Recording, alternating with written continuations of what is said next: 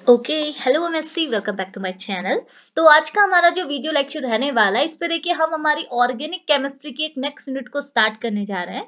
तो आज से हम जो यूनिट स्टार्ट करने जा रहे हैं, वो है आपका फ़ोटो केमिस्ट्री ओके तो काफ़ी बढ़िया यूनिट है, देखिएगा आपको सारी चीज़ें डेफिनेटली क्लियर आने वाली है इस यूनिट के अंदर। तो देखिए ना फ़ोटो केमिस्ट्री पे लेक्चर प्रोवाइड करने से पहले मैं आपको एक चीज़ यहाँ पे बताना चाहती हूँ, वो ये कि देखिए अगर आपने अपना सिलेबस देखा होगा फ़ोटो केमिस्ट्री यूनिट के अंदर तो आपको वहाँ पर देखने को मिलेगा कि आपके फ़ोटो केमिस्ट्री में क्या थोड़ा सा थ्योरी वाला पोर्शन भी है, थोड़ा रिएक्शन वाला पोर्शन भी है। तो मैं पर्टिकुलरली पर्सनली क्या, आपको फ़ोटो केमिस्ट्री को क्या, दो पार्ट में पढ़ाऊँगी यहाँ पर। एक पार्ट रहेगा हमारा बेसिक्स ऑफ़ फ़ोटो केमिस्ट्री जिसके अंदर हम फ़ोटो केमिस्ट्री के रिलेटेड जितनी भी आपको थ्योरी पोर्शन पूछा गया एग्ज़ाम में, या फिर आपके सिलेबस में जितना भी थ्योरिटिकल पोर्शन दिया है फ़ोटो केमिस्ट्री के अंदर, वो सब मैं आपको उसी में कंप्लीट कराऊँगी। जैसे आपको क्या दिया होगा, जैसे सिंगलेट ट्रिपलेट स्टेट क्या होती है लॉज ऑफ़ फ़ोटो केमिस्ट्री क्या होती है, आपका फ्लोरोसेंस फॉस्फोरेसेंस क्या होता है जेबलॉन्स की डायग्राम क्या होता है? क्वांटम हीट क्या है? ये बेसिक से टॉपिक है जो आपकी फ़ोटो केमिस्ट्री के थियोरिटिकल पोर्शन में दिए जाते हैं। तो उसको हम सेपरेटली पढ़ेंगे, उसको मैं एक सेपरेट यूनिट में आपको पढ़ाऊँगी, जिसके मैंने क्या, कुछ लेक्चर्स तो आपको प्रोवाइड किए हुए हैं लॉज वगैरह फ़ोटो के हमने देखे हुए हैं। बाकी एक सेकंड पार्ट पे भी हम डिस्कशन लेंगे और सेकंड पार्ट पे क्या, मैं आपको फ़ोटो का रिएक्शन वाला पोर्शन कंप्लीट कराऊँगी। और उसके अंदर हम लोग क्या पढ़ेंगे, आपको तीन चीज़ों के फ़ोटो के बारे में पढ़ना है। फ़र्स्ट है photo chemistry of organic compound आपने पढ़ना है। Photo chemistry of carbonyl compound आपने पढ़ना और photo chemistry of aromatic compound आपने पढ़ना है। और तीनों ही कंपाउंड की जब आप फ़ोटो केमिस्ट्री पढ़ेंगे तो आपको डिफरेंट टाइप की फोटोकेमिकल रिएक्शंस के बारे में डिस्कस करना होगा, जिसे मैं क्या एक सेकंड पार्ट में कराऊँगी, ठीक है? तो देखिए, आपने सिलेबस में देखा होगा, आपको तीन चीज़ों की फोटोकेमिस्ट्री पढ़नी है। तीन कंपाउंड के, एक है ऑर्गेनिक कंपाउंड एक है आपके कार्बोनाइल कंपाउंड एक है एरोमेटिक कंपाउंड तो इन तीनों कंपाउंड में ऑर्गेनिक कंपाउंड पे मैं आपको ऑलरेडी लेक्चर प्रोवाइड करा चुकी हूँ, उसका लिंक मैं आपको डिस्क्रिप्शन बॉक्स पे डाल दूँगी। तो अभी हम लोग स्टार्ट करते हैं। हमने ऑर्गेनिक कंपाउंड पूरा कंप्लीट कर दिया सारे टॉपिक्स मैंने आपके क्लियर करा दिए। आज हम आगे बात करते हैं हमारे photo chemistry of carbonyl compound यानी कि अब हमने photo chemistry of carbonyl compound पर डिस्कशन लेना है ओके तो देखिए photo chemistry of carbonyl compound में सबसे पहला जो आपका टॉपिक बनता है, वो है Norrish first and Norrish second type की रिएक्शंस यानी कि ये दो आपकी रिएक्शंस है। और काफ़ी इंपॉर्टेंट भी है, लेकिन काफ़ी इजी है, मैं आपको बता दूँगी। तो हम यहाँ पे नॉरिस फ़र्स्ट और नॉरिस सेकंड दोनों के यहाँ पर को मैं आपको थ्योरी मटेरियल भी प्रोवाइड कराऊँगी मैकेनिज्म भी शेयर कराऊँगी और साथ ही साथ एग्जाम्पल्स भी हम डिस्कस करेंगे ओके तो देखो स्टार्ट करते हैं लेक्चर को तो फिर बाकी कोई चीज़ होगी तो आप पूछ सकते हैं।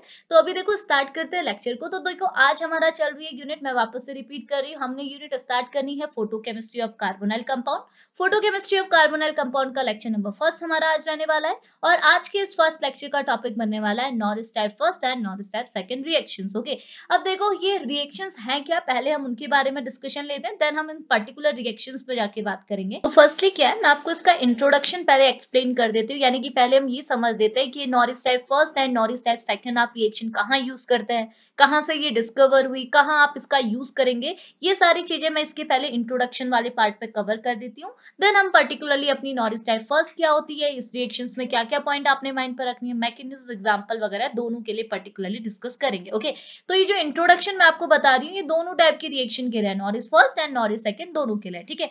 तो इंट्रोडक्शन में जस्ट चार पॉइंट आपको बोले गए, इसे जस्ट सुनना है आपने और कुछ नहीं करना। तो चार पॉइंट आपके क्या है? तो फ़र्स्ट पॉइंट आपको ये बोल रहा है, ये बोल रहा है a Norrish reaction in a organic chemistry is a photochemical reaction takes place with ketones and the aldehyde तो ये क्या बोल रहा है? ये बोल रहा है जो नॉरिस रिएक्शन आप ऑर्गेनिक केमिस्ट्री के अंदर पढ़ते हैं, ये क्या है? एक टाइप की फोटोकेमिकल रिएक्शन है। तो आपको पता है फोटोकेमिस्ट्री हम पढ़ रहे हैं तो ऑब्वियस सी बात है फोटोकेमिकल रिएक्शन होगी। और आपको पता है फोटोकेमिकल रिएक्शंस क्या होती है? तो हम बोलते हैं फोटोकेमिकल रिएक्शन वो रिएक्शंस होती है जो फोटोन्स की प्रेजेंस में या फिर आप बोल सकते हो एच न्यू रेडिएशन की प्रेजेंस में प्रोसीड होती है। ऐसी रिएक्शंस को आप बोलते हैं फोटोकेमिकल रिएक्शन ओके तो ये क्या बोल रहा है कि नॉरिस टाइप जो आपकी रिएक्शन है Norrish first and Norrish second reaction ये एक टाइप की ऑर्गेनिक रिएक्शन है, जो कि एक टाइप की क्या होती है मतलब ऑर्गेनिक केमिस्ट्री में जो आप नॉरिस रिएक्शंस पढ़ते हैं, ये एक टाइप की फोटोकेमिकल रिएक्शन और ये कहाँ प्रोसीड होते हैं, ये फोटोकेमिकल रिएक्शंस किसकी फोटोकेमिकल रिएक्शंस है? आपके कार्बोनाइल कंपाउंड कार्बोनाइल कंपाउंड मतलब कीटोन एंड एल्डिहाइड की है, यानी कि कोई दूसरे कंपाउंड में आप इस टाइप की फोटोकेमिकल रिएक्शन नहीं देख सकते। Norrish type first and second reaction एक टाइप की फोटोकेमिकल रिएक्शन है बट किसके लिए? कार्बोनाइल कंपाउंड जैसे कीटोन एंड एल्डिहाइड ओके अब सेकंड पॉइंट आपको क्या बोल रहा है सुनेगा? ये बोल रहा है such reactions are subdivided into a two types Norrish type first reactions and Norrish type second reaction तो ये जो आपके नॉरिस रिएक्शन है, इसे आप अगेन क्या करते हैं सब डिवाइडेड करते हैं सब डिवाइड करते हैं दो पार्ट में। तो पहला पार्ट होता है आपका Norrish type first reaction and second होता है आपका नॉरिस टाइप सेकंड रिएक्शन तो ये आपको पता था। अब थर्ड पॉइंट आपको क्या बोल रहा है सुनेगा? ये बोल रहा है रिएक्शन इज़ नेम्ड आफ्टर ये रिएक्शन को फर्स्टली किसने डेवलप किया और किसके नाम पर ये रिएक्शन आई है? तो ये बोल रहा the reaction is named after है रोनाल्ड जॉर्ज रेफॉर्ड नेरिस ठीक है? सॉरी नॉरिस ठीक है? तो ये आपके एक साइंटिस्ट थे आर जी डब्ल्यू नेरिस भी आप बोल सकते हैं, ये आपके साइंटिस्ट थे। इन साइंटिस्ट ने आपको फर्स्टली क्या ये नॉरिस रिएक्शन दी थी Norrish first and Norrish second reaction दी थी। और इन्हीं के नाम पे क्या हुआ, ये Norrish type and Norrish type first and Norrish type second reaction जानी जाती है ओके उसके बाद लास्ट ये बता रहा है कि ये रिएक्शन आपकी यूज़ कहाँ होती है तो यहाँ लिखा हुआ है। ये बोल these reaction are the important in photo oxidation of polymers तो ये रिएक्शन जो Norrish first and Norrish second reaction है इन रिएक्शंस का आप यूज़ कहा करते हैं? अपने पॉलीमर्स के फ़ोटो ऑक्सीडेशन के लिए करते हैं। और पॉलीमर्स भी कैसे? यहाँ पर नाम लिखा हुआ है polymers such as polyolefins polyester and certain polycarbonate and polyketones तो ये आपके पॉलीमर्स हैं। इन पॉलीमर्स की फ़ोटो ऑक्सीडेशन के लिए आप ये particularly Norrish first and Norrish second type की रिएक्शन का यूज़ करते हैं। तो ये जैसे आपको मैंने इंट्रोडक्शन बता दिया Norrish first and Norrish second type की रिएक्शन का, ठीक है? अब हम पर्टिकुलरली बात करते हैं नॉरिस टाइप फ़र्स्ट रिएक्शन होती क्या है मैकेनिज्म वगैरह सारी चीज़ें डिस्कस करते हैं। तो स्टार्ट करते हैं, चलिए, ठीक है? तो देखिए पर्टिकुलरली बात कर लेते हैं नॉरिस टाइप फ़र्स्ट रिएक्शन क्या होती है? सारी चीज़ें डेफिनेशन एग्जांपल मैकेनिज्म वगैरह मैं आपको क्लियर कराऊँगी। तो फर्स्टली हम बात कर लेते हैं इसकी डेफिनेशन पे। अगर आपसे नॉरिस टाइप फ़र्स्ट रिएक्शन पूछी जाएगी तो फर्स्टली आप इसका डेफिनेशन लिखोगे। डेफिनेशन पे आप वो सारी चीज़ें बताओगे जो आपकी नॉरिस टाइप फ़र्स्ट रिएक्शन के अंदर होती है ओके तो देखिए डेफिनेशन को मैं आपको थ्योरी के साथ लेते हुए चलती हूँ ताकि आपकी लाइन्स भी क्लियर होती हुई चले। तो देखो स्टार्ट करते हैं। तो डेफिनेशन पे आप क्या बोलेंगे? आप बोलेंगे the bond dissociation energy of a carbon carbon bond adjacent to a carbonyl group is comparatively small इसका मतलब क्या है? ये देखो, ये चीज़ अभी मैंने आपको इंट्रोडक्शन पे भी बोली ना, हमने इंट्रोडक्शन पे क्या पढ़ा? हमने इंट्रोडक्शन पे ये पढ़ा हमारी नॉरिस रिएक्शन होती है। चाहे आप नॉरिस टाइप फ़र्स्ट की बात करो, चाहे आप नॉरिस टाइप सेकंड की बात करो, ये एक टाइप की फोटोकेमिकल रिएक्शन है। और ये फोटोकेमिकल रिएक्शन आपको सारे ऑर्गेनिक कंपाउंड्स में नहीं देखने को मिलेगी, ये photochemical reaction particularly carbonyl compound में देखने को मिलती है। इसका मतलब क्या हुआ कि जब भी हम नॉरिस रिएक्शन कराएँगे नॉरिस फ़र्स्ट कराएँगे या फिर नॉरिस सेकंड कराएँगे, इस केस में हमारा रिएक्टेंट मॉलिक्यूल क्या बनेगा? कार्बोनाइल कंपाउंड तो उसी कार्बोनाइल कंपाउंड की बात नीचे गई गई है। ये क्या बोल रहा है कि सपोज़ मैं आपको एक कार्बोनाइल कंपाउंड बना के दिखाती हूँ। सपोज़ कीजिए ये आपका क्या है? कार्बोनाइल कंपाउंड आप देख सकते हैं, ये हमारा कार्बोनाइल कंपाउंड बना ठीक है? तो इस कार्बोनाइल कंपाउंड में जो कि यहाँ पे एज अ रिएक्टेंट मॉलिक्यूल की तरह एक्ट कर रहा है तो यहाँ पे आपको क्या देखने को मिलेगा बोल रहा है सबसे पहले? ये बोल रहा है the bond dissociation energy of a carbon carbon bond adjacent to a carbonyl group is comparatively small यानी कि कार्बोनाइल ग्रुप की अल्फ़ा पोजीशन में एडजस्टेंट पोजीशन मतलब अल्फ़ा पोजीशन में, जो कार्बन कार्बन बॉन्ड है, इनकी बॉन्ड डिसोसिएशन एनर्जी बहुत कम होती है। फर्स्टली आपने ऐसा बोलना है। मतलब क्या हुआ? देखो, ये है आपका कार्बोनाइल ग्रुप ये हो गया C double bond O group ये कार्बोनाइल ग्रुप इसकी अल्फ़ा पोजिशन क्या हुई? ये हुई, यानी कि ये है आपकी अल्फ़ा पोजिशन इसका मतलब यहाँ पर बोला गया है कि ये जो अल्फ़ा पोजिशन में जो आपको ये कार्बन कार्बन बॉन्ड देखने को मिल रहा है, इस कार्बन कार्बन बॉन्ड की बॉन्ड डिसोसिएशन एनर्जी क्या है? बहुत कम है। बॉन्ड डिसोसिएशन एनर्जी कम है का मतलब क्या हुआ? इसका मतलब ये है कि यहाँ पे इस बॉन्ड को इस particularly carbon carbon alpha bond को तोड़ने के लिए जो एनर्जी की रिक्वायरमेंट होती है, वो आपकी क्या है, बहुत कम है। इसका मतलब क्या है, ये वाला बॉन्ड बहुत आसानी से क्या हो सकता है, टूट सकता है, आसानी से ब्रेक कर सकता है। इतनी चीज़ समझ में आई? तो वही चीज़ लिखिए बोला the bond dissociation energy of carbon carbon bond adjacent to यानी कि अल्फ़ा पोजिशन में जो प्रेजेंट है किसके कार्बोनाइल ग्रुप के, वो क्या है कंपैरेटिवली स्मॉल है। इसकी बॉन्ड डिसोसिएशन एनर्जी क्या है स्मॉल है किसके कंपेयर में, बाकी बॉन्ड्स के कंपेयर में। तो होगा क्या तो आगे लिखा हुआ है and consequently, the photochemical excitation of a ketone result to a homolytic fission of a alpha carbon carbon bond. तो होगा क्या? जब आप इसमें फोटोकेमिकल रिएक्शन कराएँगे तो देखिए, आपको पता है, हमने क्या बोला? कि वही तो बोल रही नॉरिस रिएक्शन जो है, वो एक टाइप की फोटोकेमिकल रिएक्शन है। अगर आपका रिएक्टेंट मॉलिक्यूल कार्बोनाइल कंपाउंड है तो आप इसमें क्या करेंगे? फोटोकेमिकल रिएक्शन करा रहे हैं। इसका मतलब इस कंपाउंड को किसकी प्रेजेंस में ट्रीट करेंगे? फोटोन्स की प्रेजेंस में। तो ये बोल रहा है, जब भी आप क्या कराएँगे, अपने इस कार्बोनाइल कंपाउंड में क्या करेंगे? फोटोकेमिकल रिएक्शंस कराएँगे। तो यहाँ पे आपको पहले तो क्या देखने को मिलेगा? एक्साइटेशन देखने को मिलेगा और यहाँ पर लिखा है एक्साइटेशन ऑफ़ कीटोन क्योंकि यहाँ पे इसने जो कार्बोनाइल कंपाउंड लिया होगा डेफिनेशन में, वो आपका क्या होगा? कीटो मैंने यहाँ पे कीटो नहीं लिया। आप यहाँ पर को कीटो भी लिख सकते हैं एल्डिहाइड भी लिख सकते हैं। तो ये बोल रहे, देखो, आपको ये चीज़ तो पहले सुनो, ये पता है ना आपको कि जब भी हम किसी भी मॉलिक्यूल के ऊपर क्या करता है रेडिएशन पास करता है, ये चीज़ तो आप पढ़ते ही हैं, कभी भी किसी भी मॉलिक्यूल के ऊपर रेडिएशन पास होती है तो आपका मॉलिक्यूल क्या हो जाता है? एक्साइटेड हो जाता है। मतलब वो उसमें आपको क्या देखने को मिलता है? ट्रांजिशन देखने को मिलता है। वही चीज़ आपकी यहाँ है। आप अगर पर्टिकुलरली कार्बोनाइल कंपाउंड में फोटोकेमिकल रिएक्शन की बात करेंगे तो आपके कार्बोनाइल कंपाउंड में क्या होते हैं? दो टाइप के ट्रांजिशन होते हैं। एक होता है n to pi star transition एक होता है आपका pi to pi star transition अब ये ट्रांजिशन क्या है? ये आपने कहा पढ़ा है? यूवी स्पेक्ट्रोस्कोपी में पढ़ा है। बाकी ये ट्रांजिशन आपकी कार्बोनाइल कंपाउंड में कैसे हो रहा है? कैसे एक्साइटेशन वगैरह हो रहा है? इसको हम कहाँ डिस्कस करेंगे? बेसिक्स में डिस्कस करेंगे ओके तो इसलिए बेसिक्स भी है। अभी वो चीज़, जो भी आपका ये है, इतना सारा यहाँ लिखने की ज़रूरत नहीं होती है। बस आप n to pi star transition base में लिखेंगे, मैं आपको बताऊँगी कहाँ लिखेंगे। तो देखो, हमने क्या किया? फर्स्टली हमने समझा ये कार्बोनाइल ग्रुप आपका कैसा है। मैंने बता दिया कार्बोनाइल ग्रुप की अल्फ़ा पोजिशन जो है, वहाँ पर जो कार्बन कार्बन बॉन्ड बन रहा है, उसके लिए जो बॉन्ड डिसोसिएशन एनर्जी काफ़ी वीक है। इट मीन ये वाला बॉन्ड आपके इस ग्रुप में क्या है, बहुत ज़्यादा वीकर है। ओके तो अब होगा क्या? अगर आपके पास ये रिएक्टेंट मॉलिक्यूल और अगर आप इसमें फोटोकेमिकल रिएक्शन करा रहे हैं, इसका मतलब आप इस रिएक्टेंट मॉलिक्यूल को किसकी प्रेजेंस में ट्रीट करेंगे? फोटोन्स की प्रेजेंस में। अब फोटोन्स की प्रेजेंस में अगर कोई चीज़ आ रही है इट मीन इसमें क्या होगा? आपको एक्साइटेशन देखने को मिलेगा। तो एक्साइटेशन को आप कैसे रिप्रेजेंट करेंगे? तो देखो एक्साइटेशन को रिप्रेजेंट करने का तरीका रहता है। आप यही कंपाउंड को एज इट इज़ लिखेंगे बट इसे स्क्वायर ब्रैकेट के अंदर पुट करेंगे और बाहर क्या लगा देंगे? स्टार तो इसका मतलब आपने यहाँ पे क्या देखा? एक्साइटेशन देखा। इसका मतलब ये बनता है कि आपके मॉलिक्यूल में, आपका जो ये कार्बोनाइल ग्रुप है, इसमें आपने क्या किया? फोटोकेमिकल रिएक्शन कराया, क्योंकि in the presence of photons आप रिएक्शन करा रहे हैं एच की प्रेजेंस में रिएक्शन करा रहे हैं। तो जैसे फोटोन्स की प्रेजेंस में कंपाउंड आएगा तो यहाँ पे क्या होगा? एक्साइटेशन होगा। और एक्साइटेशन को कुछ स्टार के फॉर्म में आप लिखते हैं। लेकिन बेस में आप यहाँ पे क्या लिखेंगे? N to pi star transition यहाँ पे इस पर्टिकुलर केस में जो ट्रांजिशन होगा, वो कैसा होगा? N to pi star transition क्योंकि अभी अभी मैंने आपको क्या बोला कि कार्बोनाइल ग्रुप में दो टाइप का ट्रांजिशन होता है। एक होता है n to pi star transition transition एक होता है pi to pi star transition यहाँ पे आपका क्या हो रहा है? N to pi star transition firstly आपने बस इतनी चीज़ रिप्रेजेंट करनी है। इतना हुआ, अभी मैं नीचे भी आपको शो करूँगी। अब जस्ट रफली बता रही हूँ। इतना करेंगे। उसके बाद क्या बोल रहा है? देखो, मैं वापस बोल रही बोल रहा है consequently photochemical excitation of ketone यहाँ पे क्या होगा पहले? फोटोन्स की प्रेजेंस में आपके कंपाउंड का जो कार्बोनाइल कंपाउंड है सपोज़ कीटोन ही लेते तो आप बोलते कीटोन का यहाँ पे एक्साइटेशन हुआ। उसके बाद क्या होगा? उसके बाद कुछ ना कुछ रिएक्शन तो होगी ना। एक्साइटेशन होगी तो बात खत्म नहीं होगी। उसके बाद रिएक्शन कैसे होगी? तो ये बोल रहे रिज़ल्ट हुआ homolytic fission of alpha carbon carbon bond ठीक है?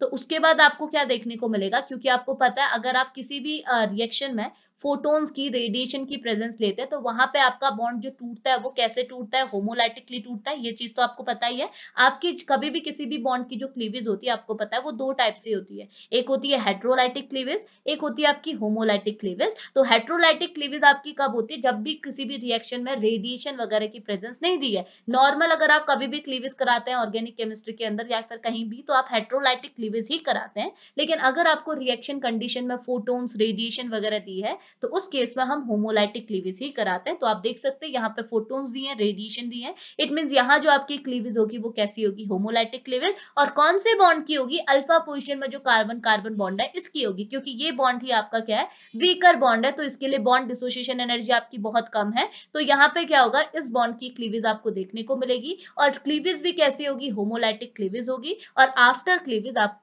को बाई रेडिकल देखने को मिलेंगे। बाई रेडिकल मतलब दो रेडिकल का फॉर्मेशन देखने को मिलेगा। और इसी प्रोसेस को आप क्या बोलते हैं? नॉरिस टाइप फ़र्स्ट रिएक्शन बोलते हैं। कितना आसान था, समझ में आया? तो देखो, मैं रिपीट करूँ, कितना समझ कितना आसान था। तो वापस से नीचे से बता रही हमने क्या बोला था? तो यहाँ बोला था consequently photochemical excitation of ketone हुआ, आपने यहाँ पर अपने कार्बोनाइल ग्रुप का एक्साइटेशन किया। उसके बाद क्या हुआ, क्योंकि फोटोन्स की प्रेजेंस है तो यहाँ पे आपको होमोलाइटिक फिजन यानी कि होमोलाइटिक क्लीवेज देखने को मिली। लेकिन कौन सी पोजिशन में देखने को मिली? अल्फ़ा कार्बन कार्बन बॉन्ड में देखने को मिली, क्योंकि ये ही बॉन्ड आपका वीकर बॉन्ड है, जो हमने स्टार्टिंग में पढ़ा था। उसके बाद जब भी आप इस बॉन्ड को तोड़ोगे तो आफ्टर रिएक्शन क्या, आपको होमोलाइटिक क्लीवेज है तो क्या मिलेंगे? रेडिकल्स मिलेंगे। होमोलाइटिक क्लीवेज आपको क्या बोलती है? इक्वल क्लीवेज होगी। देखो, मैं आपको दिखाती हूँ। होमोलाइटिक क्लीवेज मतलब इक्वल क्लीवेज देखो, एक बॉन्ड आपका यहाँ पे दिखा रही हूँ, ठीक है? एक बॉन्ड आपका यहाँ पे होगा, एक बॉन्ड मतलब सॉरी ये बॉन्ड में एक इलेक्ट्रॉन यहाँ पे होगा, एक इलेक्ट्रॉन यहाँ होगा तो होमोलाइटिक क्लीविज क्या होगी? इक्वल क्लीविज होगी, यानी कि दोनों ही एटम्स को अपने अपने इलेक्ट्रॉन्स मिलेंगे तो आपको यहाँ पे क्या है? आफ्टर क्लीविज बाय रेडिकल्स देखने को मिलेंगे, ये जो आपकी रिएक्शन होती है, इसी को बोलते हैं Norrish type first reaction okay अब देखो, उसके साथ साथ आप यहाँ पे रिएक्शन को फिनिश नहीं करते, उसके बाद देखते हैं कि रिएक्शन का टेम्परेचर कैसा है, किसकी प्रेजेंस है, उसके बाद हम आगे कोई रिएक्शन और कंटिन्यू करते हैं बट आपने डेफिनेशन में बस इतनी चीज़ यहाँ पर लिखनी होती है इसी को आप बोलते हैं नॉरिस टाइप फ़र्स्ट रिएक्शन इतनी चीज़ समझ में आई? तो डेफिनेशन में आपने ये लिखना है, ठीक है? अब एग्ज़ाम्पल पे अगर मैं आपसे बात कर रहा हूँ तो एग्ज़ाम्पल आपको क्या बोल रहा है, सुनिएगा, यहाँ पे हम एग्ज़ाम्पल डिस्कस करते हैं। तो तो देखो, अब example of Norrish type reaction के आप एग्ज़ाम्पल कैसे डिस्कस कराएँगे? तो देखो नॉरिस टाइप फ़र्स्ट रिएक्शन के जो मैं आपको एग्ज़ाम्पल एंड मैकेनिज्म आपको शो कराने वाली हूँ, वो दो टाइप के आपके कंपाउंड की कराने वाली हूँ। दो टाइप के कंपाउंड मतलब देखो, हमको पता है नॉरिस टाइप फ़र्स्ट रिएक्शन में रिएक्टिन मॉलिक्यूल है हमारा कार्बोनाइल कंपाउंड अब आपने देखा होगा कि आपके कार्बोनाइल कंपाउंड जो होते हैं, वो आइदर सिमेट्रिकल होते हैं और या फिर आपके असिमेट्रिकल होते हैं। तो हमने दोनों ही केस की बात करनी है। हम एक बार ये डिस्कस करेंगे कि अगर आपका जो कार्बोनाइल कंपाउंड है, वो सिमेट्रिकल है तो उस केस में वो कैसे Norrish type first reaction proceed करेगा। और अगर आपका जो कार्बोनाइल कंपाउंड है, वो अनसिमेट्रिकल है तो उस केस में वो कैसे Norrish type first reaction proceed कराएगा। दोनों की मैकेनिज्म देखेंगे एंड देन लास्टली मैं आपको दो तीन examples Norrish type first reaction के करवाऊँगी। ओके तो देखो, बहुत आसान है मैकेनिज्म बिल्कुल सेम है, आप जस्ट सुनते रहिएगा, ठीक है? तो फर्स्टली अगर आपको दिखा हुआ है कि अगर आपका जो कार्बोनाइल ग्रुप है और कार्बोनाइल भी यहाँ पे पर्टिकुलरली कीटोन ले गए हैं, कि अगर आपका जो कार्बोनाइल कंपाउंड है, जो आपका कीटोन है, वो अगर सिमेट्रिकल है तो उस केस में उसमें नॉरिस टाइप फ़र्स्ट रिएक्शन कैसे होगी, उसे आपने सुनना है। तो देखो थ्योरी के साथ ही मैं आपको लेते हुए चलती हूँ तो क्या बोल रहा है सुनेगा? फर्स्टली यहाँ पे बोल रहा है कॉमन एग्ज़ाम्पल इज़ एसीटोन अगर आप नॉरिस टाइप फ़र्स्ट रिएक्शन करा रहे हैं तो इसका बहुत ही कॉमन एग्ज़ाम्पल है एसीटोन जो कि एक टाइप का सिमेट्रिकल कीटोन है।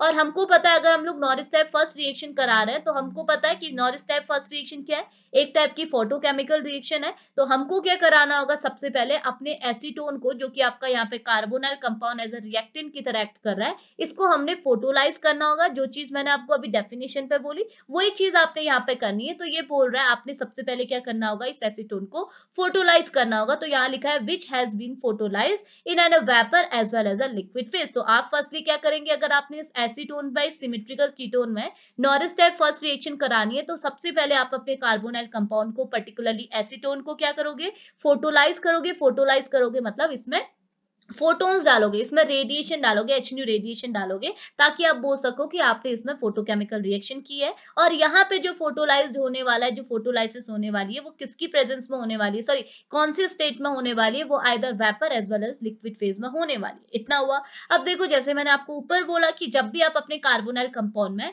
फ़ोटो अपने कार्बोनाइल कंपाउंड को फोटोलाइज कराओगे, यानी कि अपने कार्बोनाइल कंपाउंड में क्या डालोगे? फोटोन्स डालोगे तो होगा क्या? रेडिएशन की वजह से आपका मॉलिक्यूल एक्साइटेड स्टेट में चला जाएगा। एक्साइटेड स्टेट में जाएगा बट कैसे जाएगा? बाई ट्रांजिशन जाएगा। तो वही चीज़ यहाँ पर नीचे लिखी हुई है कि absorption of a light result to a formation of a n to pi star excited state of a ketone तो जैसे आप अपने एसीटोन में क्या डालोगे? फोटोन्स डालोगे, इसे फोटोलाइज करोगे। तो आपका जो एसीटोन है, वो कौन से स्टेट में चले जाएगा? एक्साइटेड स्टेट में चले जाएगा। और कौन से ट्रांजिशन के थ्रू जाएगा? N to pi star transition के थ्रू जाएगा। जो चीज़ मैंने आपको यहाँ पे बोली n to pi star transition की प्रेजेंस की वजह से आपका जो एसीटोन है, वो क्या हो जाएगा? एक्साइटेड स्टेट में चले जाएगा। तो लाइन सुनिएगा, ये क्या बोल रहा है? लाइन्स आप क्लियर रखिएगा। ये बोल रहा है absorption of light result to the formation of n to pi star excited state of acetone यानी कि लाइट की वजह से लाइट के एब्जॉर्प्शन की वजह से कौन सी लाइट जो आप फोटोन्स की बात कर रहे हैं एच जो आपकी रेडिएशन है, इसकी बात कर रहा है। अगर ये जो आपकी एच रेडिएशन है,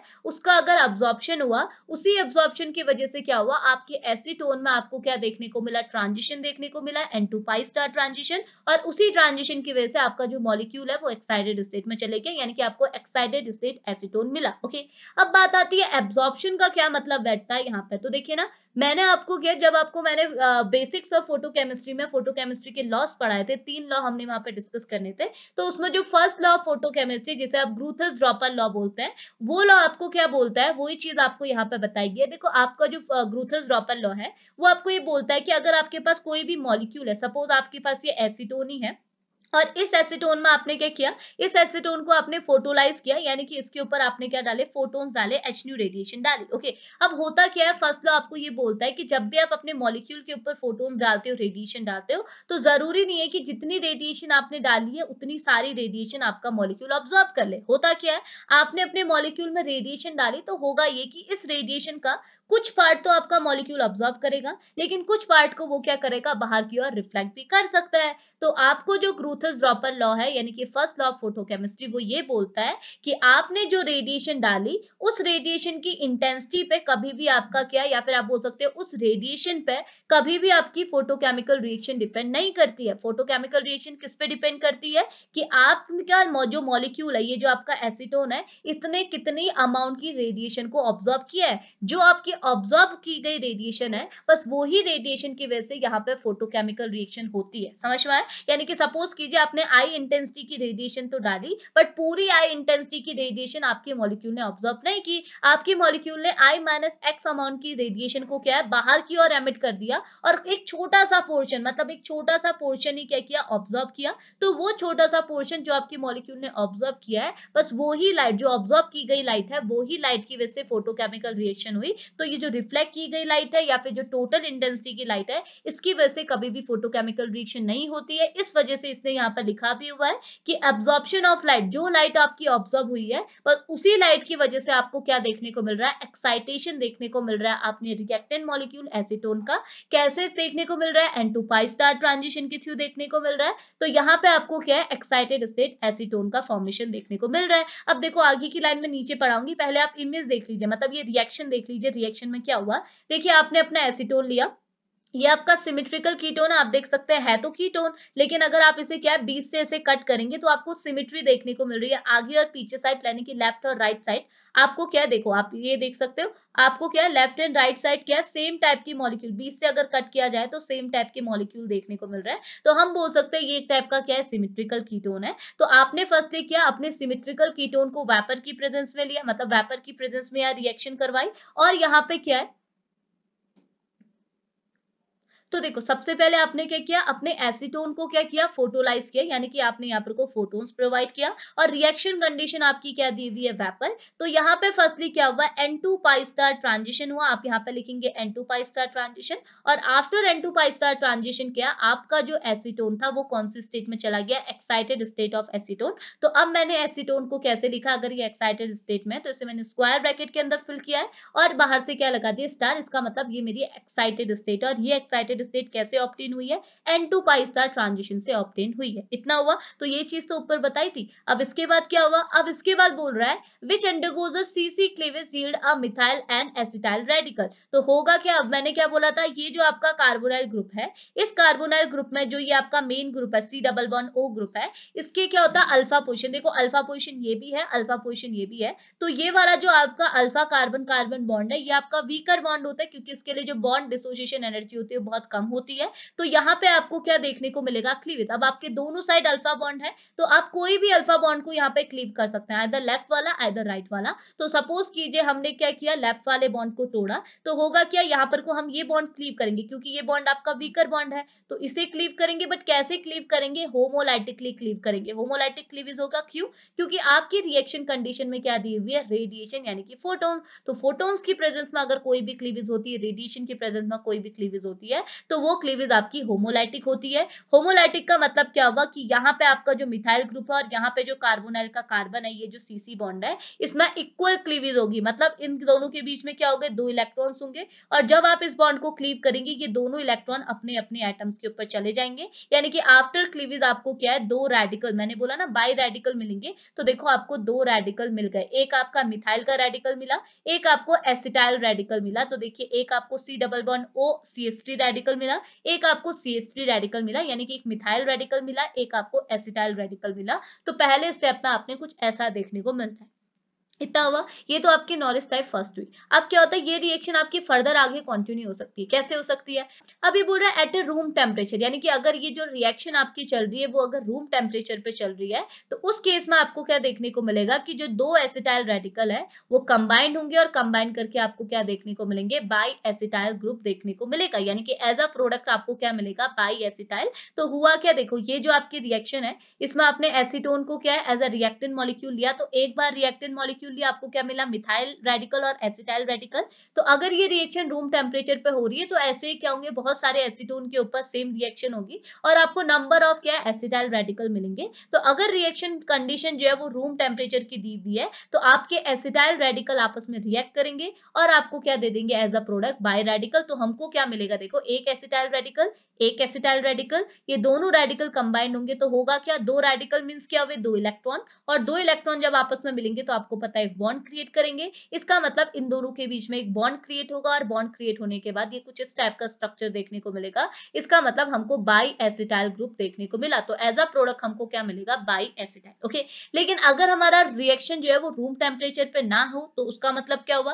तो बोला अगर हमारी रिएक्शन क्या है? कौन से टेम्परेचर पे हो रही होगी? अब अब डिग्री सेल्सियस पे, यानी कि आपका जो टेम्परेचर है, वो आपका क्या होगा? अगर greater than hundred degree Celsius होगा तो उस केस में आपको ये नहीं देखने को मिलेगा कि आपके दो एसिटाइल रेडिकल कंबाइन हुए और बाई एसिटाइल आपको एज अ प्रोडक्ट मिला है। इस केस में आपको क्या देखने को मिलेगा? अगर टेम्परेचर बहुत ज़्यादा होगा रिएक्शन कंडीशन का तो उस केस में आपको क्या है? डी कार्बोनाइलेशन देखने को मिलेगा, यानी कि decarbonylation takes place okay decarbonylation मतलब क्या होता है? तो देखो डी कार्बोनाइलेशन मतलब होता है रिमूवल ऑफ़ सीओ ग्रुप आपका जो कार्बोनाइल ग्रुप है C double bond O group जो आपका ये कार्बोनाइल ग्रुप है ना सी डबल बॉन्ड ओ इनका डी डी मतलब आपको पता है क्या होता है? डी मीन्स होता है रिमूवल तो कार्बोनाइलेशन मतलब कार्बोनाइल ग्रुप का तो जब भी आप कार्बोनाइल ग्रुप यानी कि सीओ का रिमूवल करेंगे तो उसे आप बोलोगे डी कार्बोनाइलेशन बिकॉज़ डी मतलब होता है रिमूवल तो अगर आपके रिएक्शन कंडीशन में टेम्परेचर क्या है greater than hundred degree Celsius दिया है तो उस कंडीशन में क्या होगा? डी होगा. कैसे होगा? देखिए, आपने क्या किया?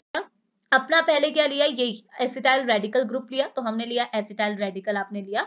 तो हुआ क्या? इसमें पहले रिएक्शन हुई रिएक्शन कर में क्या हुआ? रिएक्शन हुई और अगेन इसमें एक और बॉन्ड है आपका, ये ये वाला भी तो आपका कार्बोनाइल ग्रुप का एडजस्टेंट पोजीशन का कार्बन है, यानी कि ये भी तो आपका अल्फ़ा पोजिशन है। तो ये अल्फ़ा पोजिशन है इट मीन ये वाला जो बॉन्ड है आपका कार्बन कार्बन बॉन्ड ये बॉन्ड भी आपका वीकर होगा, इसके लिए भी बॉन्ड डिसोसिएशन एनर्जी कम होगी।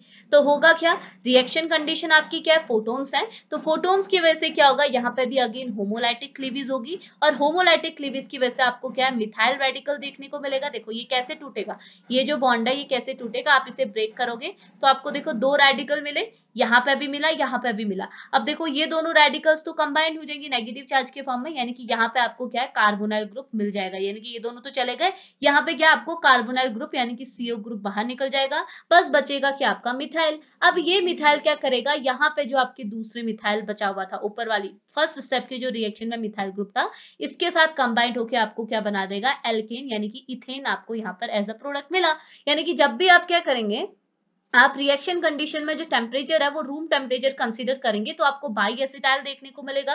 और अगर आप temperature higher than 100 degree Celsius देखेंगे तो आपको पहले तो डीकार्बोनाइलेशन दिखेगा, यानी कि सीओ ग्रुप का आप रिमूवल करेंगे, और उसके साथ आपको एक एल्केन का फॉर्मेशन देखने को मिलेगा। तो देखो, ये वाली जो मैंने आपको, ये मैकेनिज्म आपको शो की, वो मैंने एक ओपन चेन ओपन चेन की बात की, यानी कि यहाँ पे आपको कोई भी साइक्लिक रिंग देखने को नहीं मिल रही है, ठीक है? तो अभी क्या है, मैंने आपको ओपन सिस्टम की बात की यहाँ पर को।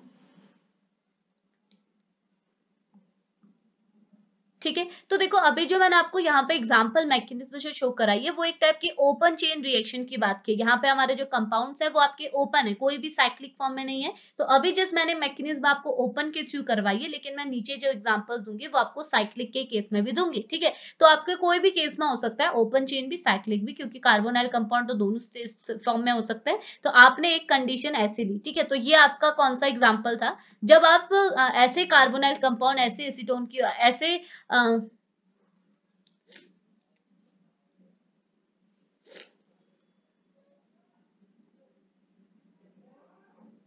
ठीक है?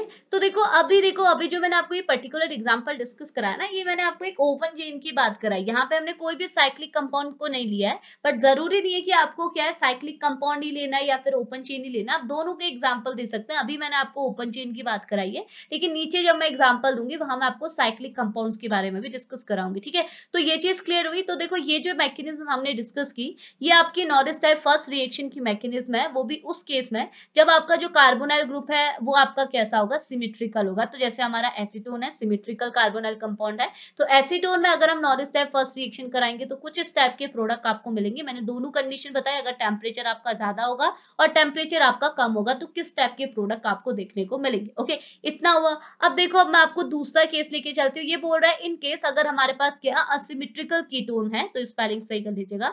अगर हमारे पास असिमेट्रिकल कीटोन है तो उस केस में क्या होगा?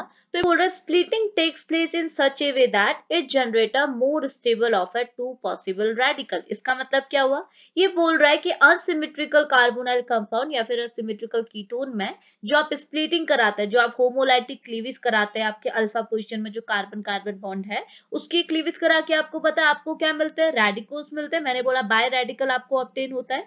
तो ये बोला असिमेट्रिक के केस में आपने ये चीज़ ध्यान पर रखनी है कि जब भी आप अल्फ़ा पोजिशन के कार्बन कार्बन की क्लीविस कराए तो आफ्टर क्लीविज जो आपको रेडिकल्स मिले, वो आपको कैसे मिले, ज़्यादा स्टेबल वाले रेडिकल को आपने प्रेफर करना यानी कि ऐसे रेडिकल चाहिए आपको जो आपके स्टेबल हो। ओके तो इसका मतलब क्या है? देखिए, इसको मैं क्या आपको एग्ज़ाम्पल के थ्रू बताता है। तो हमने क्या एक एग्ज़ाम्पल अगेन कंसीडर किया और ऐसे एग्ज़ाम्पल कंसीडर किया है जहाँ पे हमारे पास असिमेट्रिकल कीटोन है। ओके तो क्या क्या करना है? देखो प्रोसीजर आपका बिल्कुल हु सेम रहेगा, ठीक है? आपने कुछ एक्स्ट्रा नहीं करना है। जो काम मैंने आपको बोला था, वही करना है। तो क्या करना था सबसे पहले? मैंने बोला, सबसे पहले आप अपना कंपाउंड चेक कीजिए मतलब अपना कार्बोनाइल कंपाउंड लाइए और उसमें पहले आपने चेक करना है कि ये कार्बोनाइल कंपाउंड आपका सिमेट्रिकल है या फिर असिमेट्रिकल तो हम देख सकते हैं, अगर मैं यहाँ पे जो आपका कार्बोनाइल ग्रुप है, इसमें अगर मैं एक प्लेन पास कराऊं सो सॉरी थोड़ा सा टेढ़ा हो गया, एक मिनट अगर मैं इसके ऊपर क्या करूँ, एक प्लेन पास करूँ तो आप देख सकते हैं, अगर मैंने इस प्लेन के थ्रू क्या कर दिया, इस कंपाउंड को बीच से कट कर दिया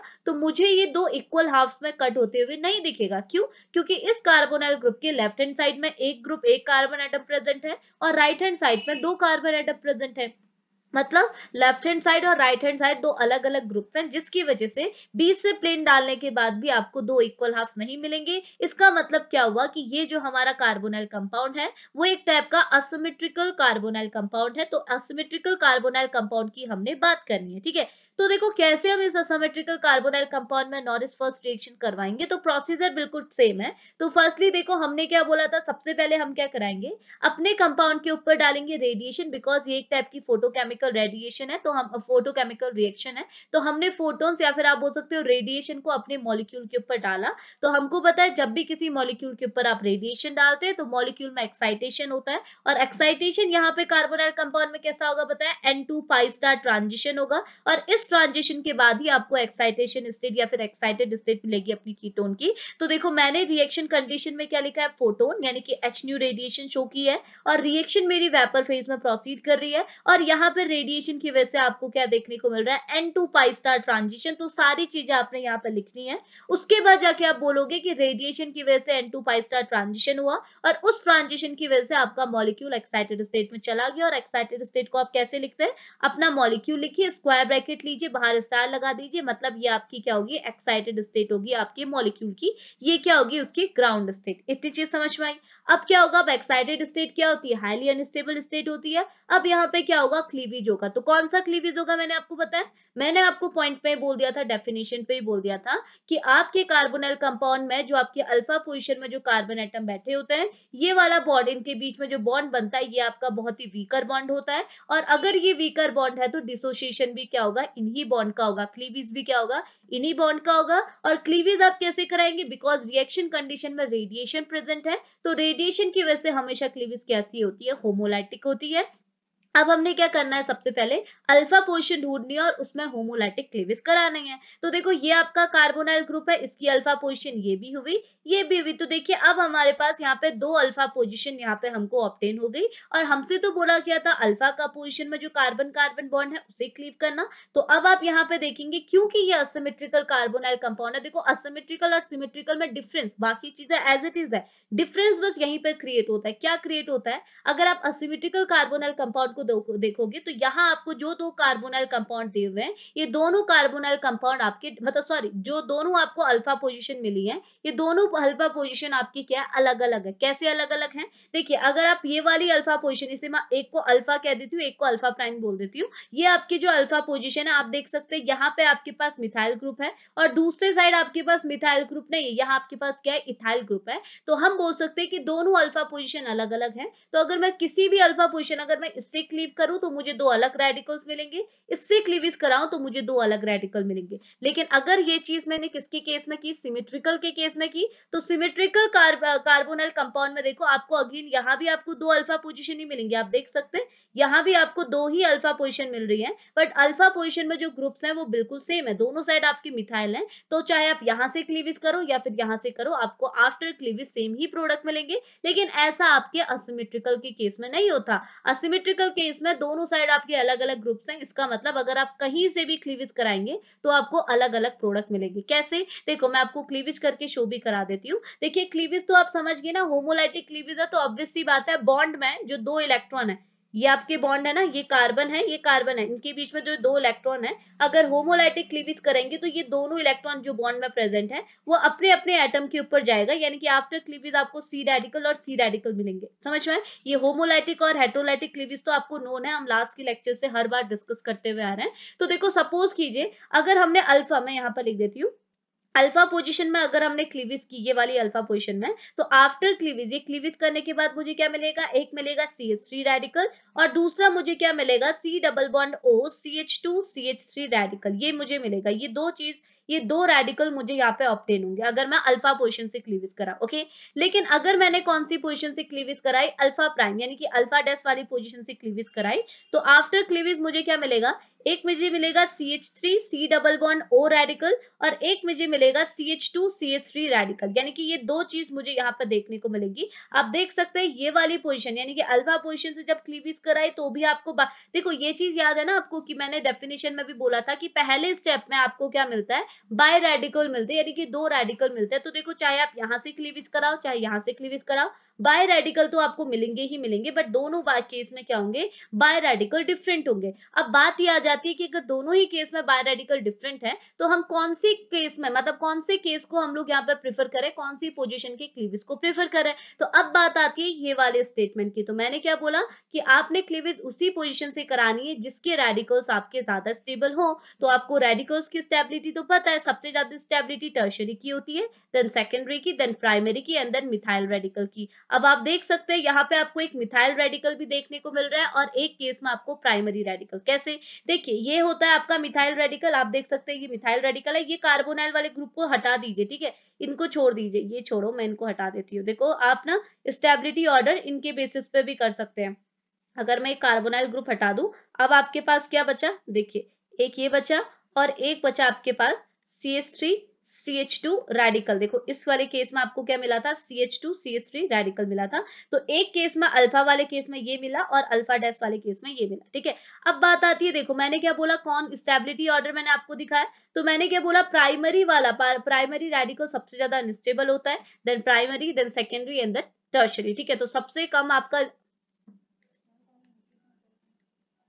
तो देखो, मैंने क्या बोला कि मिथाइल रेडिकल सबसे ज़्यादा अनस्टेबल होता है than primary than secondary than tertiary तो आप देख सकते हैं, ये आपका मिथाइल रेडिकल है और ये आपका प्राइमरी रेडिकल है। इट मीन्स ये वाली पोजीशन में जो मिथाइल रेडिकल है, ये आपका ज़्यादा अनस्टेबल है और ये आपका थोड़ा कम अनस्टेबल है। यानी कि इसके कंपेयर में स्टेबल कौन है? ये है। इसका मतलब हम ये वाली पोजिशन से बॉन्ड को प्रेफर करना, यानी कि अल्फ़ा डेस यानी कि अल्फ़ा प्राइम वाली पोजिशन से बॉन्ड को क्लीव करना ज़्यादा प्रेफर करेंगे, क्योंकि इस क्लीवेज के बाद हमको क्या ऑप्टेन हो रहा है? प्राइमरी कार्बन प्राइमरी रेडिकल और अगर हम लोग अल्फ़ा से क्लीविज करेंगे तो हमको क्या ऑप्टेन हो रहा है? मिथाइल रेडिकल और मिथाइल और प्राइमरी के केस में प्राइमरी रेडिकल ज़्यादा स्टेबल है तो हम कौन सी पोजिशन को प्रीफर करेंगे? इस पोजिशन को प्रीफर करेंगे, ठीक है? तो देखो, मैंने प्रीफर करके लिखा भी हुआ है, आप देख सकते हैं, हमने क्लीविज की, और आफ्टर क्लीविज मैंने आपको बाय रेडिकल शो किए हुए तो बाय रेडिकल आपको क्या मिले? मैं इनको इरेज कर देती हूँ, एक मिनट तो देखिए, हमने कौन सी क्लीविज कराई?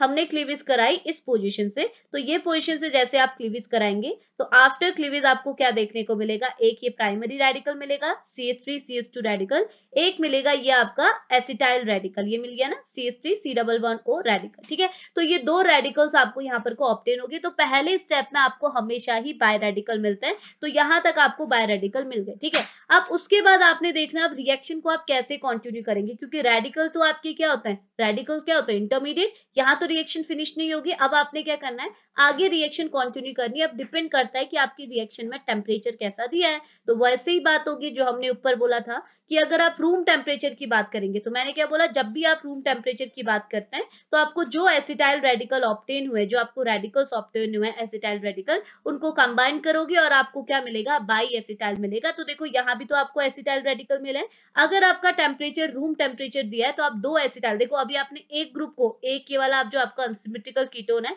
इसको क्लीव किया तो ये प्रोडक्ट मिले। ऐसे दूसरे भी तो मॉलिक्यूल्स होंगे नंबर ऑफ़ मॉलिक्यूल होंगे। एक ही मॉलिक्यूल तो होगा नहीं आपके कंपाउंड में। नंबर ऑफ़ मॉलिक्यूल होंगे तो नंबर ऑफ़ आपको बायोरेडिकल्स मिलेंगे। तो अगर रूम टेम्परेचर अगर आपको कंडीशन दी होगी तो आप क्या करेंगे? अपना एसिटाइल रेडिकल लेंगे और इसे दूसरे एसिटाइल रेडिकल के साथ कंबाइन करेंगे। दो रेडिकल्स के बीच में बॉन्ड क्रिएट होगा। दोनों क्या हुए? दो रेडिकल मतलब बता दिया ना, दो इलेक्ट्रॉन दो इलेक्ट्रॉन मिलेंगे तो बनाएँगे बॉन्ड तो आपको यहाँ पे क्या मिलेगा? बाई एसिटेट ऑप्टेन हो जाएगा। ओके लेकिन अगर रिएक्शन में आपको जो टेम्परेचर है, वो रूम टेम्परेचर ना देके greater than hundred degree Celsius दिया जाए तो उस केस में हमेशा ही आपको एल्केन ऑप्टेन होगा। कैसे ऑप्टेन होगा?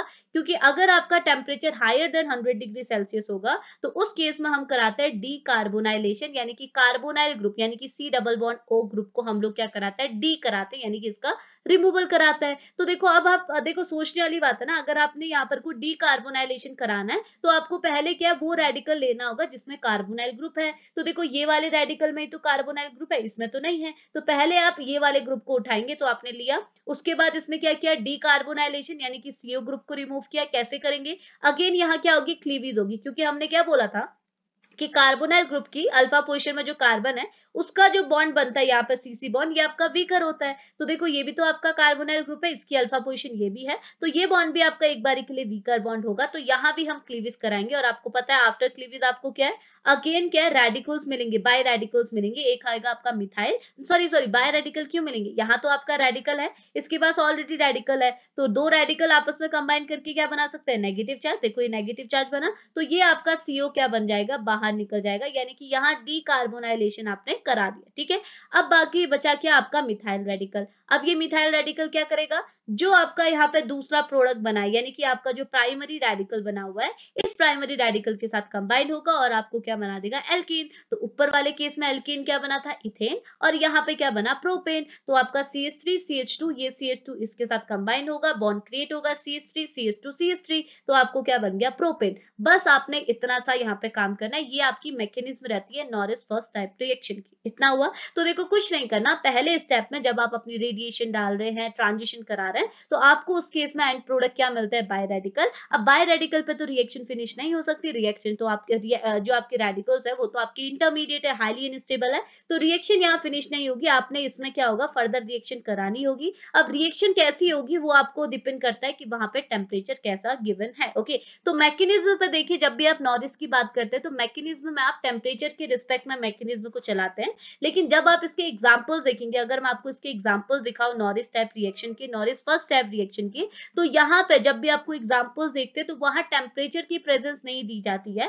टेम्परेचर के बिना ही हमको आइडिया लगाना होता है कि कब हमने डीकार्बोनाइलेशन कराना और कभी कब हम लोग क्या है डायरेक्टली रेडिकल को कंबाइन करके अपना प्रोडक्ट बनाएँगे, ठीक है? तो कैसे ये चीज़ का अंदाज़ा लगाएँगे, मैं आपको बताती हूँ। देखिए ना आपको बस इतना पॉइंट याद रखना है कि नॉरिस फ़र्स्ट टाइप रिएक्शन में क्या होता है? जो रिएक्शन होती है, हमने ऊपर तो पढ़ा था कि रिएक्शन कंडीशन में आपको वेपर भी दिया जाता है लिक्विड भी दिया जाता है but most of the cases में आपको जो कंडीशन दी जाती है, वो वेपर कंडीशन ही दी जाती है ओके अब दूसरी चीज़, आपको क्या है? नॉरिस की जब आप क्या है एग्ज़ाम्पल प्रॉब्लम्स को सॉल्व करेंगे तो वहाँ पे आपको टेम्परेचर की प्रेजेंस नहीं दी जाती है। टेम्परेचर की बात हम लोग मैकेनिज्म पे ही करते हैं। एग्जाम्पल्स पे आपको टेम्परेचर बहुत ही रेयरली दिया जाता है। तो अगर टेम्परेचर नहीं दिया है तो हमको हमको कैसे मालूम पड़ेगा कि कब हमने डायरेक्ट एडिशन कराना है अपने रेडिकल का और कब हमने यहाँ पर माइनस सीओ ग्रुप को निकालना है? तो ये चीज़ हमने याद रखनी है कि सीओ ग्रुप का एलिमिनेशन हम तभी कराएँगे जब हमारे जो ये रेडिकल्स फॉर्म होने वाले हैं, वो रेडिकल हमारे क्या होंगे? स्टेबल होंगे। इसका मतलब क्या है? इसको मैं आपको नीचे एग्ज़ाम्पल के थ्रू बताती हूँ।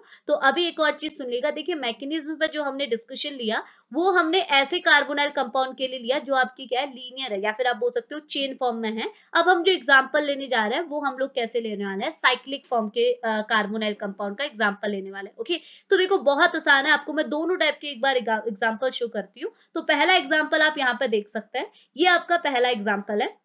ये देख सकते हो, ये एक टाइप का आपका कार्बोनाइल कंपाउंड है, जो कि सिक्स मेंबर रिंग के साथ अटैच है, ठीक है? अब आप देखो, अगर मैं आपसे बोलूँ कि ये वाला जो आपका कार्बोनाइल कंपाउंड है, वो कैसा है? सिमेट्रिकल है या असिमेट्रिकल है? तो आप साफ़ साफ़ बता सकते हैं कि ये एक टाइप का सिमेट्रिकल कंपाउंड है ओके अब इस साइक्लिक सिमेट्रिकल कीटों के कंपाउंड में आपने क्या कराने है? नॉरिस फ़र्स्ट स्टेप रिएक्शन करानी है। तो कैसे कराएँगे? मैं आपको बताती हूँ, देखो फ़र्स्ट स्टेप हमारा क्या है? सबसे पहले हमने अपने कंपाउंड में क्या कराना है? क्योंकि नॉरिस रिएक्शन एक टाइप की फोटोकेमिकल रिएक्शन है तो सबसे पहले इसके ऊपर हमने क्या डालना है? है फोटोन्स यानी कि एच न्यू डालना है और यहाँ पे जो रिएक्शन कंडीशन दी है वो वेपर की दी हुई है, ठीक है? तो देखो, जैसे आपको पता आप अपने कंपाउंड के ऊपर क्या डालोगे फोटोन्स डालोगे तो आपके कंपाउंड में क्या होगा? एक्साइटेशन होगा, यानी कि पहले यहाँ पे आपका मॉलिक्यूल जो है ये ट्रांजिशन करेगा और ट्रांजिशन भी कैसे करता है? मैंने बताया था n to pi star transition होता है, आप यहाँ पे ब्रैकेट में लिखिएगा n to pi star transition हुआ और आफ्टर ट्रांजिशन ये अपनी एक्साइटेड स्टेट में गया। तो यहाँ पे मैंने इसकी एक्साइटेड स्टेट नहीं बनाई नीचे के केस में मैंने प्रॉपर किया बट ऊपर मैं भूल गई। तो आप यहाँ पे क्या इसकी एक्साइटेड स्टेट भी बना लीजिएगा, ठीक है? अब अगर आप नहीं बनाना चाहते हैं तो आप क्या कर सकते हैं? देखो, अगर आपसे मिस्टेक होगी तो अब आप इसे सुधार कैसे सकते हैं? आप फ़र्स्ट यहाँ पर को क्या है, जो आपके फोटोन्स है, जो एच न्यू रेडिएशन आप दे रहे हैं, इसके आगे क्या लिखेंगे? फ़र्स्ट यानी कि आपने पहले स्टेप में क्या किया? एच न्यू रेडिएशन डाला और एच न्यू रेडिएशन के बाद आपने इसमें क्या देखा? ट्रांजिशन देखा। तो हम समझ जाएँगे कि आफ्टर ट्रांजिशन आपने क्या किया? एक्साइटेशन वहाँ पर हुई तो आप इसे फ़र्स्ट इसे सेकंड नंबर दे सकते हैं, ऐसा कर सकते हैं, ठीक है? अगर आप यहाँ पे एक्साइटेड स्टेट बनाना भूल गए हो तो ठीक है? तो इतना कर सकते हैं, बिल्कुल सही हो जाएगा, ठीक है? इतना हुआ। अब सोचो कि ये एक्साइटेड स्टेट में पहुँच गया, मैंने ये बाहर स्टार्ट कर दिया, इसे स्क्वायर ब्रैकेट में रख दिया स्टार्ट कर दिया, ठीक है? अब एक्साइटेशन होगा तो उसके बाद क्या होगा? तो आपको पता है एक्साइटेड स्टेट क्या होती है? हाईली अनस्टेबल स्टेट होती है। वहाँ पे आपको क्या देखने को मिलेगा? क्लीविस क्लीविज भी क्या, कौन सा? होमोलाइटिक क्लीविज होगा और कौन सी पोजिशन में होगा?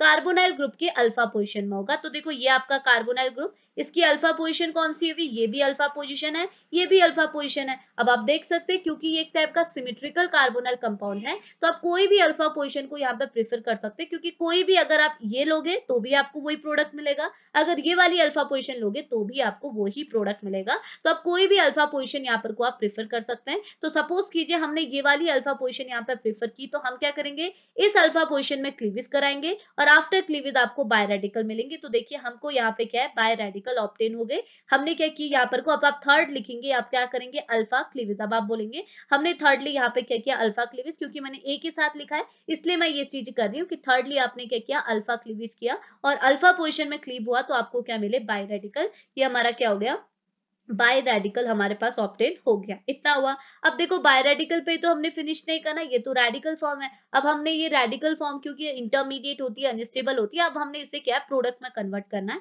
तो मैंने क्या बोला, दो कंडीशन है। एक तो ये है कि आप दूसरे बाय रेडिकल को यहाँ, बाहर से एक और दूसरा बाय रेडिकल लाओगे और कंबाइन कर दोगे। और दूसरी कंडीशन ये कि यहाँ पे आप डीकार्बोनाइलेशन करा दो, यानी कि कार्बोनाइल ग्रुप को निकाल दो। तो देखो, अगर मैं बोलूँ कि मैं यहाँ से ये सी डबल बॉन्ड ओ को निकालना चाहती हूँ तो और मैं निकाल के भी आपको दिखा रही हूँ कि सपोज़ आपने ये, आप सोच रहे हैं कि यहाँ से हम डी कार्बोनाइलेशन यानी कि इस कार्बोनाइल ग्रुप को निकाल दें तो क्या ये कार्बोनाइल ग्रुप निकलेगा या फिर नहीं निकलेगा? तो कार्बोनाइल ग्रुप को निकालने के लिए आपको क्या करना होगा? देखिए, ये वाले बॉन्ड को भी तो क्लीव करना होगा, ये वाला जो अल्फ़ा बॉन्ड है, ये भी अल्फ़ा बॉन्ड है, ये भी आपका वीकर बॉन्ड है, आपको इसको भी क्लीव करना होगा। तो सोचिए, अगर आपने ये बॉन्ड क्लीव कर दिया तो इसके क्लीविज के बाद आपको क्या मिलेंगे? ये दोनों रेडिकल मिलेंगे। और अगर ये दोनों रेडिकल मिले तो ये दोनों रेडिकल मिलके क्या बनाएँगे? नेगेटिव चार्ज और अगेन आपका यहाँ से माइनस सीओ निकल जाएगा, ठीक है? अब ये सीओ तो आप निकाल देंगे बट आप यहाँ पे देखो क्या ये सीओ निकालने के बाद, ये डीकार्बोलाई डीकार्बोनाइलेशन होने के बाद आपको जो ये रेडिकल्स मिले, क्या ये रेडिकल स्टेबल है? तो देखिए, मैंने आपको स्टेबिलिटी ऑर्डर तो बोला कि टर्शरी रेडिकल सबसे ज़्यादा stable than secondary than primary and then आपका मिथाइल रेडिकल तो देखो, हम लोग जब स्टेबिलिटी की बात करते हैं, अगर हम कंपेयर कर रहे हैं तो हमारा ये ऑर्डर रहता है। लेकिन अगर हम कंपेयर नहीं कर रहे तो उस केस में बात ये होती है कि ये जो आपके दो रेडिकल है टर्शरी एंड सेकेंडरी इनको हम स्टेबल रेडिकल कंसीडर करते हैं और आपके जो प्राइमरी और मिथाइल रेडिकल है, इनको हम अनस्टेबल रेडिकल कंसीडर करते हैं। मतलब अगर प्राइमरी या फिर मिथाइल रेडिकल आपको मिल रहे हैं इट मीन आपको अनस्टेबल रेडिकल मिल रहा है। अगर आपको टर्शरी और सेकेंडरी रेडिकल मिल रहा है इट मीन्स आपको स्टेबल रेडिकल मिल रहे हैं। तो ये चीज़, अगर कंपेयर कर रहे हैं तो हम बोलेंगे कि प्राइमरी के केस में सेकेंडरी ज़्यादा स्टेबल है और मिथाइल के केस में प्राइमरी ज़्यादा स्टेबल है, जैसे हमने यहाँ पे देखा। लेकिन अगर हमको देखना है तो हम बोलेंगे टर्शरी और सेकेंडरी ही आपके स्टेबल रेडिकल कंसीडर किए जाते हैं और प्राइमरी और मिथाइल रेडिकल आपके कैसे होते हैं? अनस्टेबल होते हैं। तो देखिए, आप बताइए, यहाँ पे आपको कैसे रेडिकल मिल रहे हैं? आप देख सकते हैं, ये आपके कैसे रेडिकल है? एक टाइप के प्राइमरी रेडिकल्स है, ठीक है? तो ये अगर प्राइमरी रेडिकल है, क्योंकि इनके पास अभी यहाँ पे दो हाइड्रोजन आइटम प्रेजेंट होंगे और ये एक आपका ग्रुप प्रेजेंट है और एक रेडिकल है। इट मीन ये क्या है? एक टाइप के प्राइमरी रेडिकल ये भी प्राइमरी रेडिकल ये भी प्राइमरी रेडिकल तो प्राइमरी रेडिकल तो अनस्टेबल होते हैं। तो अब हम यहाँ पे ये सोच सकते हैं कि हमने यहाँ पे डीकार्बोनाइलेशन नहीं कराना है बिकॉज़ यहाँ पर अगर हमने डीकार्बोनाइलेशन कराना चाहते हैं तो यहाँ पे जो हमको रेडिकल्स मिलेंगे, वो हमारे अनस्टेबल होंगे। तो ये चीज़ यहाँ पे पॉसिबल नहीं है। तो अब मैं इसको वापस से ये जैसा था एज इट इज़ वैसा ही बना के आपको दिखाती हूँ, ये ऐसा था। यहाँ पे रेडिकल यहाँ पे रेडिकल ठीक है? तो अब यहाँ पे डीकार्बोनाइलेशन तो पॉसिबल नहीं है। अब हमारे पास दूसरी चीज़ क्या बची? कि हम एक और रेडिकल लाए और दूसरे रेडिकल के साथ कंबाइन करके अपना प्रोडक्ट बना दे। तो अब क्या करते हैं देखिए, अब जब आपके पास साइक्लिक होता है तो इस केस में क्या करते हैं? आपका जो ये अल्फ़ा पोजिशन थी, इसके नेक्स्ट में आपको बीटा पोजिशन देखने को मिल रही है। इस बीटा पोजिशन में दो हाइड्रोजन आइटम प्रेजेंट होंगे। मैं इसे रख देती हूँ। ये देखो, दो हाइड्रोजन आइटम प्रेजेंट होंगे। अब आप क्या करेंगे यहाँ से? हाइड्रोजन का एब्स्ट्रक्शन कराएँगे। आपको लिखने में भी दिखा है एरो में दिखा है एब्स्ट्रक्शन ऑफ़ हाइड्रोजन यानी कि हाइड्रोजन को आप यहाँ से एब्स्ट्रैक्ट करेंगे, कैसे करेंगे? आप यहाँ पे जो हाइड्रोजन और कार्बन बॉन्ड है, इसे क्लीव करेंगे। अगर अगेन यहाँ पे क्लीवेज हुई तो होगा क्या? यहाँ पे भी आपको दो रेडिकल्स देखने को मिलेंगे। एक तो कार्बन रेडिकल एक हाइड्रोजन रेडिकल अब होगा क्या? ये हाइड्रोजन रेडिकल यहाँ से उठेगा और किसके पास चले जाएगा? इस कार्बन रेडिकल के पास चला जाएगा। और यहाँ पे क्या होगा? ये कार्बन रेडिकल ये जो कार्बन रेडिकल था और हाइड्रोजन रेडिकल थे, ये बॉन्ड बना लेंगे और आपको यहाँ पर एक सिंगल बॉन्ड देखने को मिलेगा, यानी कि यहाँ से रेडिकल चला जाएगा। अब बचेगा कहाँ रेडिकल देखो, ये गया।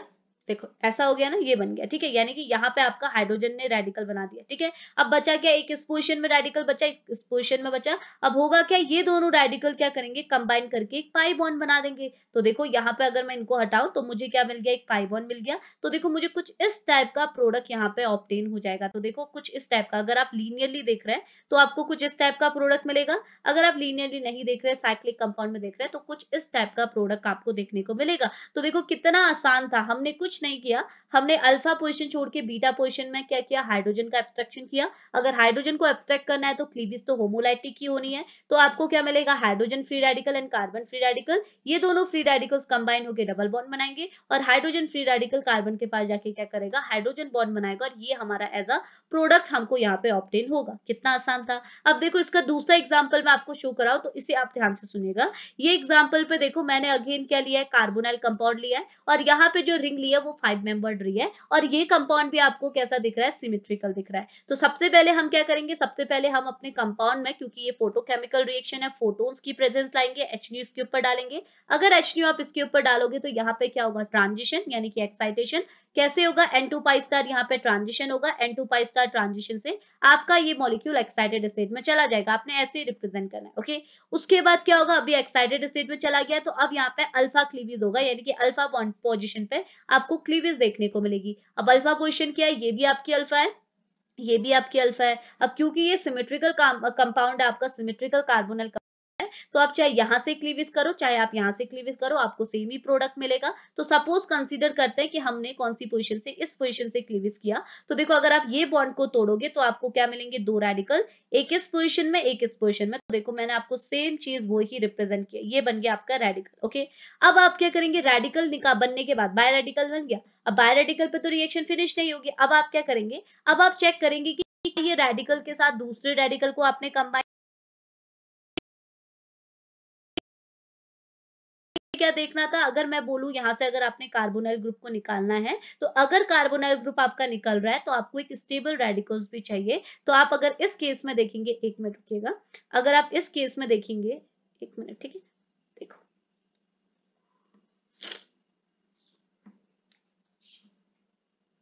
तो देखिए, अगर आप इस केस में देखेंगे तो मैं आपको दिखाती हूँ कि यहाँ पे कार्बोनाइल ग्रुप को निकालना सही है या नहीं है। तो देखो, हम लोग क्या करेंगे, ये वाला बॉन्ड भी टूटेंगे, क्योंकि ये भी आपका एक टाइप का अल्फ़ा बॉन्ड है वीकर बॉन्ड है। तो देखो, अगर ये बॉन्ड आपने क्लीव किया तो आपको क्या मिलेंगे? ये दो रेडिकल्स मिलेंगे, ठीक है? तो देखो, ये दोनों रेडिकल्स तो कंबाइंड होकर क्या बनाएँगे? माइनस सीओ करके बाहर निकल जाएँगे। अब आप देखो, अगर ये सीओ यानी कि ये कार्बोनाइल ग्रुप आप निकाल देते हैं तो आफ्टर कार्बोनाइल ग्रुप के रिमूवल के बाद आपको जो रेडिकल्स मिल रहे हैं, वो स्टेबल है या नहीं है? ये तो रेडिकल स्टेबल है। क्यों? क्योंकि ये रेडिकल आपके टर्शरी रेडिकल आप देख सकते हैं, आपके रेडिकल के साथ दो तो आपके पीएच ग्रुप जुड़ा है और ये एक आपका, ये वाला जो आपका कार्बन की चेन है, ये जुड़ा हुआ है। इट मीन हम बोल सकते हैं, ये आपका टर्शरी रेडिकल है। अगर ये टर्शरी रेडिकल है तो हमने क्या बोला? टर्शरी और सेकेंडरी तो स्टेबल होते हैं। इट मीन यहाँ पर को सीओ को निकालना हम प्रेफर करते हैं। अगर ये ग्रुप नहीं होता तो क्या होता? सीओ नहीं निकलता। यहाँ से आप हाइड्रोजन का एब्स्ट्रक्शन करते इस पोजिशन से। समझ में आया ना? जैसे हमने ऊपर किया, इस पोजिशन से हाइड्रोजन का एब्स्ट्रक्शन किया तो कितना आसान था? तो देखो, हमको पता चल गया, यहाँ से हम कार्बोनाइल ग्रुप को निकाल सकते हैं। तो मैंने किया माइनस सीओ कार्बोनाइल ग्रुप को निकाला। निकाला बाकी मैंने देखो एज इट इज़ चीज़ों को लिख दिया। यहाँ हमारे दो फ्री रेडिकल ऑप्टेन हुए, ठीक है? अब देखो, अब ये फ्री रेडिकल ऑप्टेन हुए। अब आप लोग क्या करते सीधे, जैसे हमने मैकेनिज्म में देखा, इन दोनों को कंबाइन कर देते और आपको कुछ एल्केन टाइप का प्रोडक्ट मिल जाता यहाँ पे आपको एल्केन मिल जाता अगर आप क्या करते देखो सपोज़ मैं कह रही हूँ, ये सी पोजिशन है, ये सी है ये सी थ्री है, ये सी फोर है। अब यहाँ पे दो कंडीशन बनती है। अगर आप क्या करो सी वन और सी फोर की बॉन्डिंग करो तो आपको एक एल्केन टाइप का प्रोडक्ट मिलेगा। यानी कि एन टाइप का प्रोडक्ट आपको ऑप्टेन होगा। समझ में अगर आपने C1 और C4 की क्या की? बॉन्डिंग की ओके अब इसके अलावा भी एक और चीज़ हम यहाँ पे कर सकते हैं, वो क्या कर सकते हैं? C2 और C3 की क्लीविज यानी कि ये जो आपका C3 और C2 है, इनके बीच में भी हम क्लीविज कर सकते हैं। देखिए, अगर ये वाला बॉन्ड में क्लीव करना चाहूँ होमोलाइटिकली तो मुझे भी तो यहाँ पे दो रेडिकल्स मिलेंगे। देखो, ये दो रेडिकल मिले। अब ये दोनों रेडिकल अगर मुझे यहाँ पे मिले हुए तो होगा क्या? देखो, मैं इन रेडिकल को इस पोजिशन से हटाती हूँ और यहाँ पे आगे लिखती हूँ। एक मिनट रुकिएगा, ठीक है? देखो, ये रेडिकल यहाँ पे मिलते, ठीक है? अब होता क्या, अगर ये रेडिकल मुझे यहाँ पे मिलते तो होगा क्या? ये दोनों रेडिकल मिलके भी तो बॉन्ड बना सकते थे, ऐसे, ठीक है? तो अब मुझे क्या मिलता है यहाँ पे एल्केन के बदले क्या मिल जाता? है एल्कीन यानी कि ईन वाला प्रोडक्ट मिल जाता। तो देखो, यहाँ पे दो कंडीशन है, अगर C1 और C4 की बॉन्डिंग कराओगे तो एन मिलेगा, और C3 और C2 के बीच का ये बॉन्ड को क्लीव करोगे, यहाँ क्लीविस कराओगे तो क्लीविस के बाद आपको क्या है, कुछ इस टाइप के प्रोडक्ट मिलते, देखिए, मैंने लिखा दिया कुछ इस टाइप के प्रोडक्ट मिलते हैं। और ये दोनों रेडिकल्स क्या है? कंबाइन करते हैं। ये दोनों रेडिकल मतलब क्या हुआ? इलेक्ट्रॉन ये दोनों कंबाइन करते ये दोनों कंबाइन करते हैं और इन टाइप का प्रोडक्ट आपको मिलता। बस ये दोनों कंडीशन आपकी यहाँ पर बन सकती है आगे को भी, ठीक है? तो देखो, आपको क्या करना पड़ेगा? थोड़ी सी प्रैक्टिस करनी पड़ेगी, वरना नॉरिस टाइप फ़र्स्ट रिएक्शन तो बहुत आसान है सेकंड भी बहुत आसान है बट देखिए मैंने आपको क्या मैकेनिज्म वगैरह सब कुछ प्रॉपर लिखवाई, क्योंकि ये ज़रूरी भी आपके आपके जो एग्ज़ाम आते हैं सेमेस्टर एग्ज़ाम उसमें आपको डायरेक्ट पूछा जाता है Norrish first Norrish type second की रिएक्शन बताइए तो उसमें आपको पूरा मैकेनिज्म शो करना पड़ेगा, सीधे कुछ एग्ज़ाम्पल लिख के बात नहीं खत्म करेंगे एग्ज़ाम्पल अगर आपसे वन वन में पूछे गए तो मैंने एग्ज़ाम्पल भी आपको दिखा दी, बाकी एग्ज़ाम्पल भी आप गूगल कीजिए, आपको सारी चीज़ें मिल जाएँगी तो देखो ये आप कर सकते हैं, ठीक है, बाकी मैकेनिज्म मैंने आपको समझा दिया, आप इस तरीके से मैकेनिज्म डेफिनेशन एग्जांपल पुट कीजिएगा। दोनों ही केस बताइएगा कि कार्बोनाइल कंपाउंड अगर सिमेट्रिकल है और अगर असिमेट्रिकल है तो क्या प्रोडक्ट बनेगा, ठीक है? तो ये हमारा लेक्चर अभी मैं नॉरिस फ़र्स्ट टाइप रिएक्शन आपको बता रही हूँ। इसके बाद का जो लेक्चर रहेगा, वो सेकंड पे रहेगा। तो अभी लेक्चर को यहीं पे फिनिश करें। मिलेंगे नेक्स्ट लेक्चर पे। तब तक के लिए बाय बाय